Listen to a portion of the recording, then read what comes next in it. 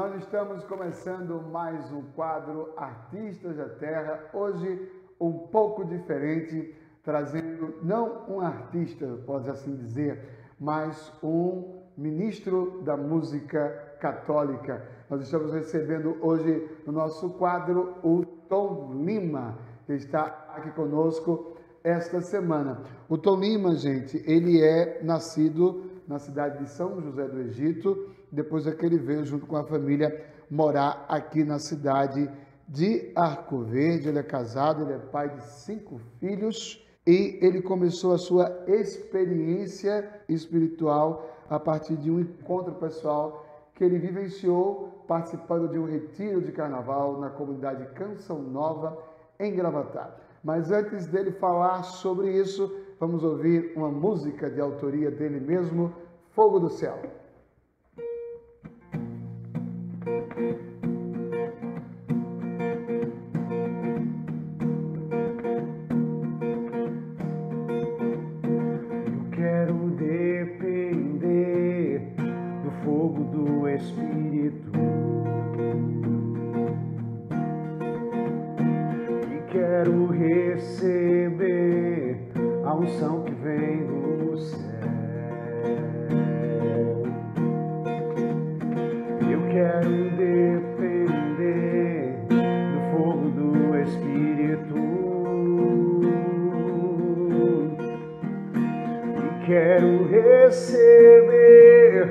unção que vem.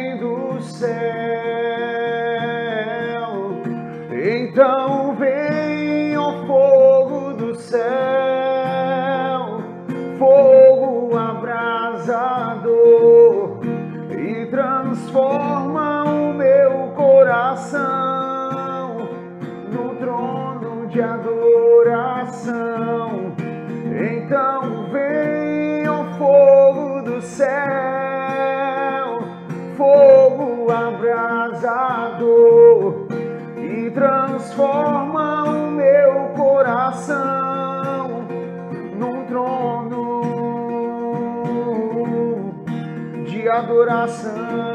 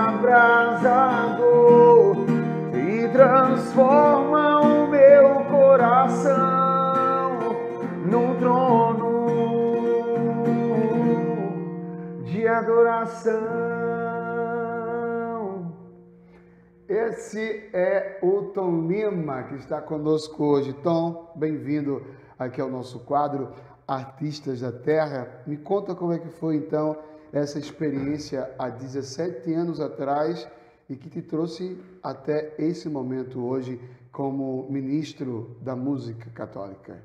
Poxa, Tiago, é, é uma benção poder falar disso aqui na TV, né? É, esse momento ele conta não só parte da minha vida, mas ele conta de fato quem eu sou para Deus, não é? Então foi uma, uma experiência incrível. Eu fui participar de um retiro, estava muito jovem, tinha acabado de fazer o encontro do Crisma e estava saindo daqui para Gravatar para vivenciar uma experiência de retiro, ainda muito sem expectativa nenhuma em relação à fé, né? Estava indo realmente só para curtir. Mas lá eu eu fui assim impactado com a forma como as pessoas rezavam, né? Tudo isso mexeu comigo. E eu me lembro de, uma, de um momento assim bem que eu considero assim crucial para a minha carreira como musical, porque lá na frente do palco tinha um, um rapaz, né, uma banda tocando aquela música do Padre Marcelo, né? Quero mergulhar nas profundezas. E quando eu ouvi aquela música, eu senti uma alegria assim indescritível. Eu senti, me senti a pessoa mais especial do planeta. E naquela hora eu, eu senti um desejo, mesmo sem entender, mas eu senti um desejo de um dia estar naquele palco e poder fazer a mesma coisa que aquele pessoal estava fazendo, que estava me fazendo nascer para uma vida nova, né? Então, eu creio que tudo começou ali, né? Creio que tudo começou ali. Inclusive, este ano eu tive a graça de estar lá. Justamente, era isso que eu ia falar agora, que esse ano você esteve fazendo show no retiro de carnaval, de carnaval. da Canção Nova desse ano. Foi uma, foi uma experiência fantástica, Tiago, porque lá é, nós recebemos o padre José Augusto, da Canção Nova de Cachoeira Paulista, São Paulo, e esse padre era o padre que estava pregando no meu ah, retiro. 17 né? anos atrás. Eu considero ele o padre da minha conversão, porque foi ali através da, da palavra de Deus, da boca dele, direto da boca dele, que eu vi que precisava voltar para Deus. Então, eu tive a graça de estar lá, né, de pregar, de cantar no mesmo e ministrar a música no mesmo palco que o padre estava, apresentar minha família para eles. Né? Então, foi, foi uma experiência incrível, né? E, e, eu vi realmente se concretizando aquilo que eu via lá atrás, né? Lá atrás, né? Foi muito bonito, muito bonito. Quase como se posso dizer uma, uma, uma profecia.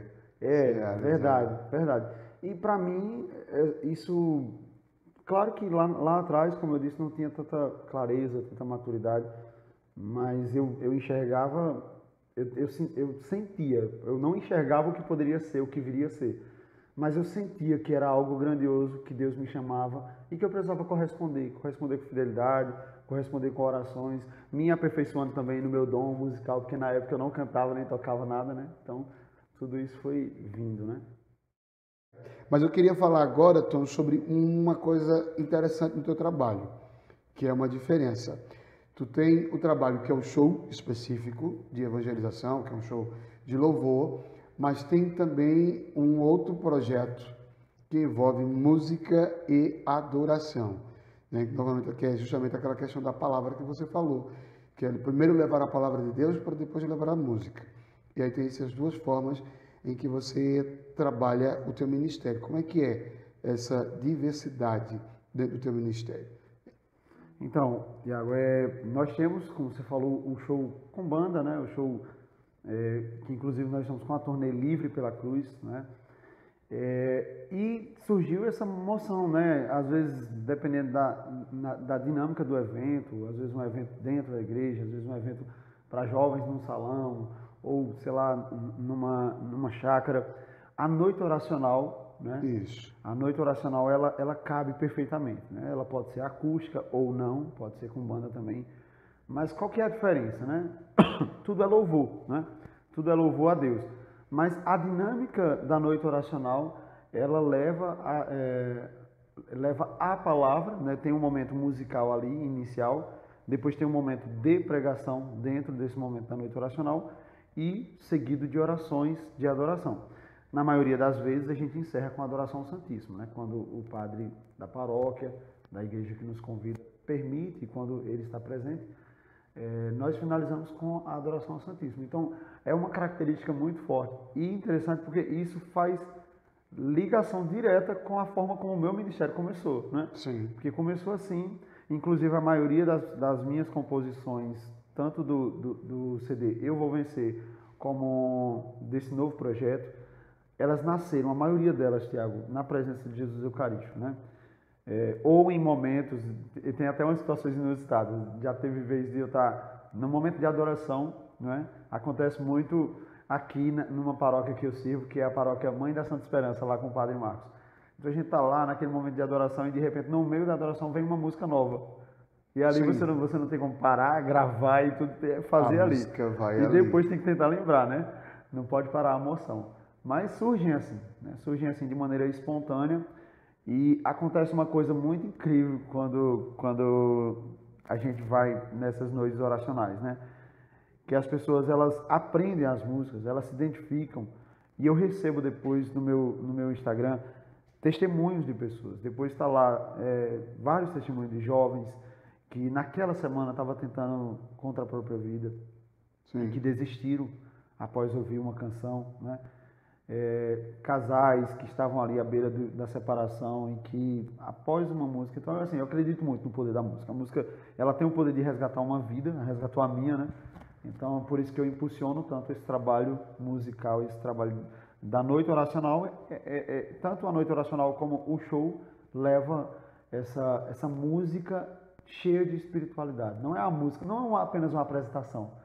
Né? As pessoas se envolvem mesmo rezando e cantando. É como costuma dizer, né? É um, é, não é um show não, comum, como a gente vê no, no mundo, no, né? no mundo secular, como a gente diz assim. Mas é um, um show de evangelização, Sim. de fato. E, e, nós temos na música católica muitos shows de, de apresentação, de prestigiar mesmo, que são bons, que nos, nos fazem bem para a alma. E isso não, não tem nenhum erro nisso. Né? Apenas é como você falou, esse é um diferencial da minha missão, do meu ministério, é levar a música. Eu não me vejo fazendo uma apresentação sem não conduzir naquele momento ali as pessoas a rezar. E às vezes, até no meu ambiente de trabalho, eu também lido com a evangelização dentro do meu ambiente de trabalho, e muitas vezes lá cantando um refrão, às vezes, ah, né, canta essa música aqui antes desse momento e tal. E às vezes só em abrir a boca para cantar, e aí depois eu escuto a pessoa dizer, poxa, mas quando você cantou, eu senti que realmente Deus falou comigo. Então, Isso como eu disse é... para você, a palavra vai. Olha, Nossa Senhora, ela, ela é a mãe, ela é a mestra, né? E eu tenho aprendido com a, com a vida, né? Com os, claro, com os ensinamentos da igreja, mas eu tenho aprendido na minha vida que quanto mais perto dela, mais perto de Jesus, né? Mais perto de Jesus. Então, é, ela é aquela mãe. Eu vivi várias experiências fantásticas com Nossa Senhora e que me marcam profundamente, marcam meu ministério profundamente. A experiência que eu vivi para escrever essa música foi uma experiência lindíssima. Eu estava prestes a ir para a Jornada Mundial da Juventude em 2013, no Rio de Janeiro. Eu iria com minha esposa e o nosso filho, o nosso primeiro filho, Miguel, tinha um ano e três meses. E nós estávamos com tudo pronto. O pacote já tinha sido pago, as passagens, tudo, tudo, tudo. Estava só, já, já tínhamos arrumado as malas, né, tudo. E a nossa família um pouco receosa, porque a gente estava indo para um evento naquela proporção, Justamente. com uma criança de um ano e três meses, né? E dois matutos daqui de Pernambuco e lá para o Rio de Janeiro. Mas o nosso desejo de vivenciar esse momento era muito maior, né? Minha esposa também é missionária, tem essa consciência e nós estávamos lutando junto por isso.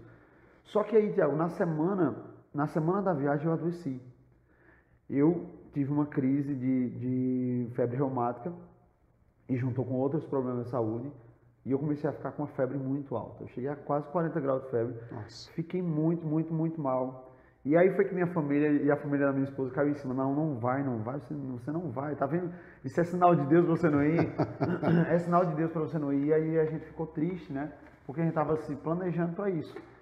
Então eu, eu peguei, me lembro que eu peguei o violão na cama, enrolado ali no, no cobertor. Tava, minha esposa depois disse que tava tão, eu tava com tanta febre que quando ela entrou no quarto ela sentia como se fosse assim o calor, né? O ali, calor né? do seu corpo, daquela né? ambiência. E eu com muito frio, mas queimando de febre. Peguei o violão e eu comecei a rezar e eu disse: Jesus, o senhor sabe que não é um passeio. Muita gente pensa que a gente está indo para um passeio. E aí eu comecei a clamar a Nossa Senhora. Eu disse: Mãe, a senhora sabe da importância dessa viagem para a gente. A senhora tem que fazer alguma coisa, porque eu preciso ir. Preciso ir, está tudo pronto. E a gente vai cuidar de Miguel, vai dar certo. E aí eu comecei a dedilhar não tinha intenção de fazer nenhuma música, estava só dedilhando para me acalmar. E veio essa, essa melodia dessa música, né? Suave Perfume. E nessa hora eu senti uma presença muito, muito forte, mas assim, diferenciada, sabe? Materna, que acalmava. Como que quando a mãe coloca a mão na cabeça e diz assim, sim, sim. vai dar tudo certo, fique tranquilo, né? E, de fato, no outro dia, a febre foi embora. A gente conseguiu viajar, Miguel foi conosco. E aconteceu uma coisa fantástica lá, que foi como se Deus gritasse para mim assim: Eu queria que você tivesse vindo. Né? Nós estávamos no dia da acolhida do Papa, lá na praia de Copacabana, nós estávamos na, perto da grade onde o Papa ia, iria passar, né, o Papa Francisco, e nós ficamos sabendo que ele ia passar, então ficamos ali o dia todo. Né? Estávamos eu, ela e um amigo nosso, é, e, e Miguel conosco. ficou lotado de gente. Teve uma hora que tinha tanta gente que a gente não conseguia levantar o braço e baixar normalmente. Então a gente cercou a, a minha esposa com o nosso filho, né? E eles ficaram no meio, num banquinho, e pronto, ficamos nos revezando ali. E aí, quando foi já de noite, já o Papa vem se aproximando e uma coisa inusitada aconteceu, que a gente não esperava. Um voluntário pegou o nosso filho, levou até o Papa Francisco para que o Papa abençoasse. Inclusive, minha esposa postou né, esses dias aí, porque comemorou aí. É, dez anos, já. Dez anos, jornada. né? E foi uma experiência fantástica. No outro dia, nós estávamos na Canção Nova, na TV Canção Nova, em Cachoeira Paulista, e nos chamaram para dar esse testemunho. Assim, sem ninguém saber, a gente estava lá participando de um programa, sabe que tem um casal de Pernambuco, vem cá, e a gente começou a falar, o pessoal, pronto, o programa girou em torno do nosso testemunho. testemunho. E na hora a gente começou a receber ligações, né, depois do programa. Poxa, desculpa por ter dito que vocês não deviam ir, vocês deviam realmente estar aí, coisa de Deus, como, como foi de Deus, a gente viu quanto, quantas famílias foram alcançadas. E eu atribuo essa graça à Nossa Senhora. Né? Então ela está sempre presente no meu ministério, primeiro porque, como eu disse, mais perto dela é mais perto de Jesus. Então a oração do Santo Terço é uma oração que eu busco sempre me aproximar, porque não só reveste a gente, né? mas é, prepara a gente para a batalha e aproxima a gente de Jesus. As pessoas não entendem, Tiago, mas quando a gente medita o Santo Terço, os mistérios, todos os mistérios, não falam de, não falam para Nossa Senhora, falam de Nossa Senhora, mas falam para Jesus. Para Jesus. Né? Todos os mistérios do, do Santo Rosário. Então, a, a, vida da Virgem Maria, a presença, a intercessão dela na minha vida é, é marcante demais. Então vamos ouvir aí Suave Perfume, uma música que ele fez para Nossa Senhora.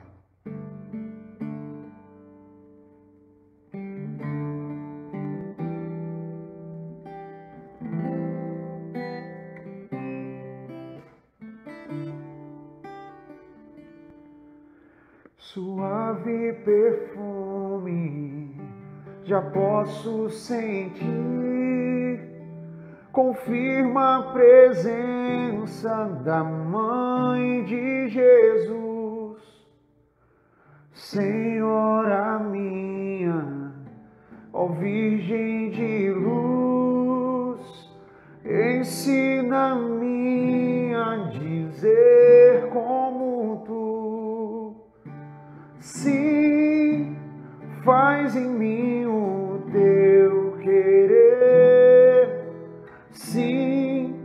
tua vontade quero obedecer. Sim, faz em mim o teu querer. Sim, tua vontade quero obedecer.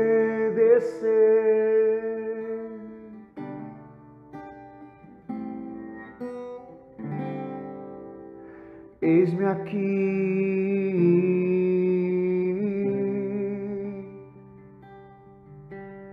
Faça-se.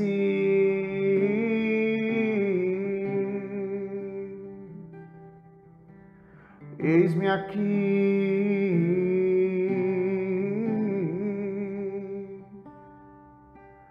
Faça-se.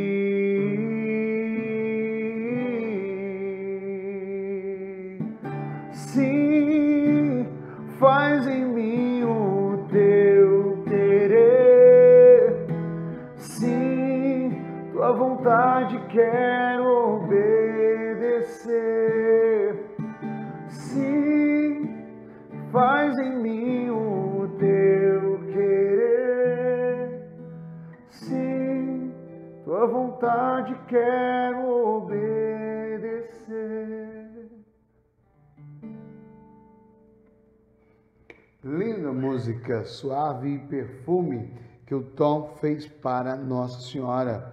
É, o Tom Lima está trabalhando um projeto novo chamado Livres pela Cruz, né, que ele começou a trabalhar desde a pandemia. É, eu acho assim impressionante, não pelo fato só hum, de ser católico, por, ter já trabalhado em, em, em rádio, a gente acompanha muito o trabalho de, de alguns artistas, cantores, ministros da música, eu tenho observado que durante a, a pandemia, por causa também da parada que houve, que todos nós sofremos com a pandemia, foi também uma época, parece que, que Deus usou muito os ministros de, de, de música, sejam eles católicos ou, ou evangélicos, enfim, para falar muito ao povo durante a pandemia, né? E foi também, eu creio, você me corrija depois, é, que foi também um processo também em que parou, parou tudo, mas não parou a oração, né? E foi um tempo em que você também usou muito as suas redes sociais, também durante a pandemia, para evangelizar, para rezar com as pessoas, para levar sua música também, para acalmar as pessoas, para consolar quem estava perdendo entes queridos, né? até pessoas próximas é, a você, ali no seu bairro, onde você mora, na sua comunidade e tudo mais. E aí vem o Livres pela Cruz que você vem está trabalhando, né? Me fala como é que está sendo esse projeto. Esse projeto ele tem uma nascente assim muito profética, né? Muito forte, porque todos nós fomos assaltados pelo tempo da pandemia e a pandemia não só levou vidas, mas levou muita coisa nossa, inclusive o tempo. Né? Isso. Muitas pessoas perderam, e tempo é uma coisa que não volta. Né? Quando você perde, não volta o tempo. E eu me lembro que a gente só podia, só podia tocar na missa, né? cumprir aquela escala. E era algo doloroso. Eu me recordo que o grupo que eu estava participando na época, é, quando a gente ia tocar a missa, a gente via a angústia do padre se lembrando. Então, quando a gente terminava ali a, a hora do, da, da proclamação do Evangelho, a gente ia para as cadeiras sentar, para que o padre pudesse olhar para pelo menos uma pequena parte do povo. E a gente pôde ver alguns sacerdotes chorar, né? E foi algo forte. Então, desculpa, é, eu rezei muito pedindo a Deus que eu não ficasse parado, Tiago. Que, esse, que, esse, que essa pandemia não, não me levasse o tempo então, eu e minha esposa, nós nos colocamos em oração e quando essa música Livre pela Cruz nasceu, eu estava cuidando de um grupo de jovens, 12 jovens, e nós fizemos uma, fizemos uma coisa, abrimos a nossa casa para receber eles, para dar formação. E esse grupo né, foi o que realmente sustentaram as lives que nós fazíamos, nós chegamos a fazer um seminário de vida no Espírito Santo de nove semanas, com tudo que o seminário precisa ter, batismo no Espírito Santo, pregação. Dois padres foram lá para dentro da minha casa para pregar, transmitindo, não é? Então nós abrimos as portas da nossa casa para literalmente ser um braço ali da Santa Mãe Igreja, naquele momento difícil. Então a música nasce nesse tempo. Nasce para nos mostrar que o sangue de Jesus nos, lava, nos lavou, nos lava e ele nos salvou. Muita gente estava com medo, com medo da morte, com medo da doença, mas a única coisa que a gente precisa ter medo, e é isso que a música vem trazer para nós, é ter medo de perder a graça de Deus. Ter medo de se afastar. A gente tem que só ter medo disso. Porque as outras coisas são muito menores em relação ao amor dele por nós. Sim. O sangue dele derramado na cruz. Então, é, esse projeto ele começou a nascer aí, mas até então era só mais uma música. Né? E nesse, desse ano de 2022 para cá, veio ficando mais evidente que o Senhor queria um novo trabalho. Sinceramente, abrindo o coração pela primeira vez assim numa, numa rede aberta como a TV LW, eu não esperava mais gravar. Eu não queria mais gravar. Você não queria mais gravar. Eu tinha e tenho muitas composições e uso elas para evangelização. Mas eu não tinha intenção de gravar e de impulsionar mais nenhum trabalho. Mas o Senhor vem pedindo né, que mais um trabalho seja executado. Então nós fizemos uma seleção, junto com a música Livre pela Cruz, temos outras canções que também trazem essa temática da cruz e a temática do amor de Jesus. Então foi aí que nasceu esse projeto. Né? Nós estamos, inclusive, acho que eu posso falar aqui, né, com uma campanha financeira porque nós vamos fechar com uma gravadora de São Paulo. É a primeira vez que eu vou fazer isso na minha vida, porque o Senhor pede que muitos corações sejam alcançados. Então, nós vamos fechar com uma, uma gravadora de São Paulo, que é a Lance Digital, uma gravadora que já lança artistas católicos. Ela é pertencente ao esposo da, da cantora Eliana Ribeiro, né, o Fábio Roniel, e nós já estamos conversando para gravar as primeiras canções. Então, esse trabalho gravado na Lance Digital vai ser impulsionado nas TVs e rádios católicas do Brasil. Né? Então, o alcance vai ser bem maior do que tudo que eu já fiz, né? E Deus está na frente. Além do trabalho do Tom Lima, para a gente terminar o nosso bate-papo, o Tom Lima também tem um programa de rádio na Agnus Day, junto com a galera que é a missão Agnus Day, se eu não me engano, isso. não é isso? E, mas me conta aí se as pessoas querem te levar para uma paróquia, para alguma cidade para fazer um momento, seja de noite orante, ou seja, o teu show mesmo de evangelização, como é que as pessoas fazem para entrar em contato contigo? Pode ligar, né, no número 087 99124 7648, ou vocês podem também entrar lá no, no, no, meu link da bio, também tem um converse comigo, um direto, né, e aí pode combinar direitinho ali pelo, pelo WhatsApp mesmo, ou pode mandar um direct também lá, o pessoal usa muito o direct, ou o botão do converse comigo.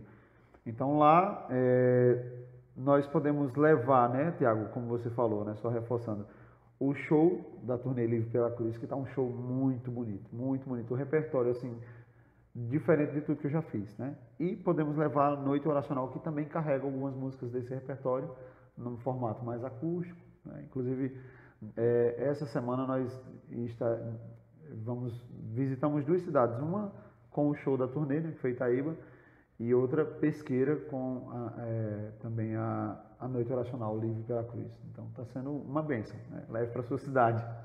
Pois é, e para a gente terminar, lembrando você pode conhecer melhor o trabalho do Tolima através do canal que ele tem no YouTube. Lá tem já alguns vídeos, alguns videoclipes, alguns amadores, outros mais profissionais, vamos dizer assim, mas que você pode conhecer mais o trabalho dele também nas redes sociais pelo Instagram do Tolima e a gente vai encerrar o nosso bate-papo com ele cantando essa música Livres pela Cruz, que eu particularmente eu gosto muito desde que eu ouvi ela pela primeira vez no YouTube, porque para mim particularmente ela chegou no momento em que eu estava voltando para casa o ano passado e eu voltei assim com muito medo, muito inseguro. E aí alguém falou que você tinha lançado essa música e tal. E aí eu fui lá e fui ver o clipe que foi gravado dentro da, da igreja, da matriz aqui, se não me engano, da matriz de livramento. E aí quando eu vi a música, eu disse, nossa senhora, caminho ali de Deus falando justamente o que você falou, né? Da gente não ter medo, né? Porque nós somos aí é, cuidados né, por Jesus, né? lavados pelo sangue de Jesus. Falo isso não é porque sou católico e sei muito como é. Então canta essa música para a gente aí, para a gente terminar.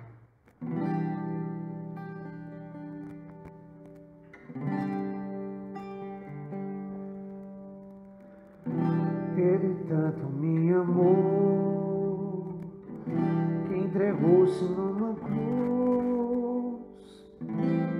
seu sangue me lavou, hoje livre do pecado sou.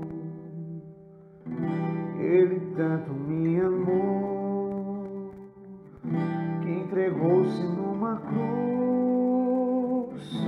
O seu sangue me lavou, hoje livre do pecado sou. O seu me lavou, sua glória me alcançou.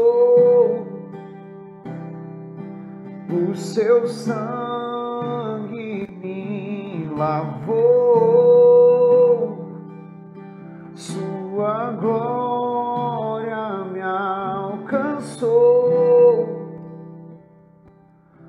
Hoje livre sou, hoje livre sou, da morte eterna me livrou. Hoje livre sou, hoje livre sou, da morte eterna me livrou.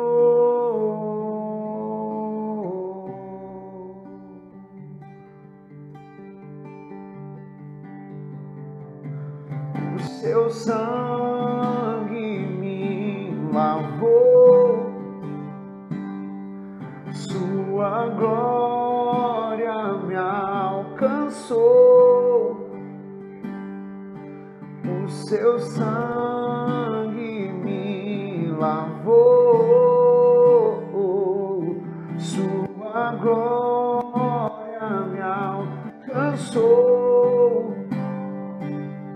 Hoje livre sou, hoje livre sou, da morte eterna me livrou. Hoje livre sou, hoje livre sou, da morte eterna me livrou.